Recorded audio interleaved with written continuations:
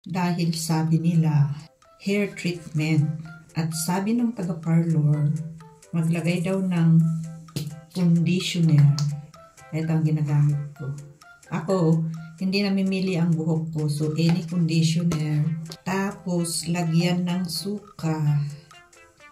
Ay, kunti lang. Baka maparami tayo. I-mix, mix. Conditioner. Suka. No specific suka. Basta suka. Basahin ang buhok. Para hindi siya tumulo-tulo. Dry natin ng towel. Saka natin ilagay ito. Try lang naman kasi sinabi lang sa atin how to soften your hair. There's no harm in trying.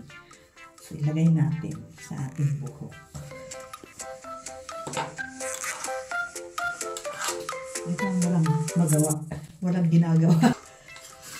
May stress-stress dyan. Kaya mo na yung mga stress-stress dyan. Isipin mo man hindi, stress pa rin yan. Kaya bakit mo pa iisipin yung stress mo? Palambutin mo na lang yung buhok mo.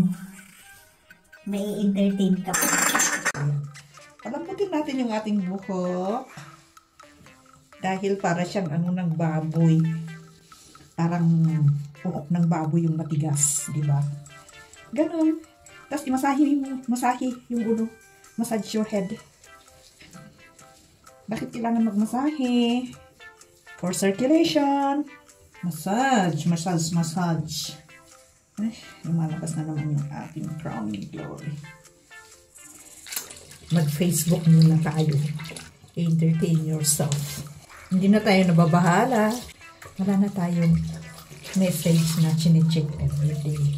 Kasi nag-give the group na tayo. We are in another chapter of our life. Gigising pa sa umaga. And the first thing you will think is, check ko nga, baka may na-miss akong message dito. Pero ngayon, wala na. Mag-aftercare muna tayo. So, ibalik natin ito doon. Sa kaya. Ay, ang sarap palang maging tambay. Kilit muna tayo ng message. To this wonderful conference. Habang inaantay natin na mababad yan, ako ay nag-online. Oh, ayan. Nabalnawan na. Kasi maalala kung ilang minutes yung sabi nilang babad. So, binabad ko siya ng at least 10 minutes. Ngayon, hinugasan natin and then we are going to blow dry.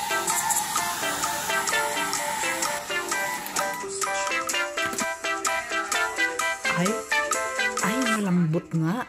Totoo pala si Kumare. Malambot nga. Pero wag pala palagi. Ano lang ito, siguro, siguro once a week, twice a month. Hindi na ako nagpo-parlor.